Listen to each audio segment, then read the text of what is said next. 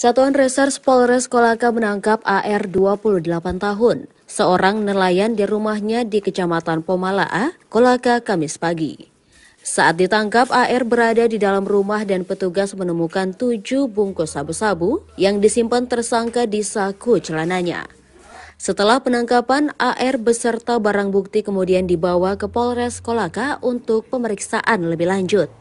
Kasat Narkoba Polres Kolaka Ibtu Alwi mengatakan penangkapan terduga pengedar tersebut setelah menerima informasi dari masyarakat.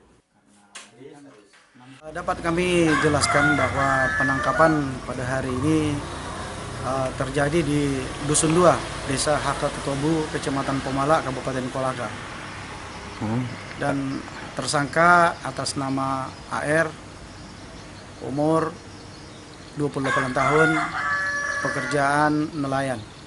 Berdasarkan informasi daripada masyarakat bahwa di Dusun 2 atas nama AR sering melakukan uh, kegiatan peredaran gelap narkoba. Oleh sebab itu, tim dari Satres Narkoba Polres Kolaka melakukan penyelidikan dan setelah timingnya tepat dan kami melakukan penangkapan uh, di rumah saudara AR.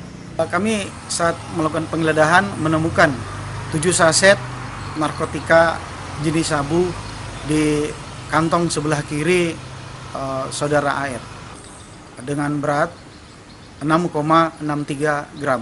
Untuk sementara barang tersebut didapatkan dari orang yang biasanya dia nelpon dan berganti-ganti nomor teleponnya, kemudian ditempelkan di suatu tempat di wilayah uh, Dawi-Dawi, kemudian AR mengambil dan membawa pulang ke rumahnya.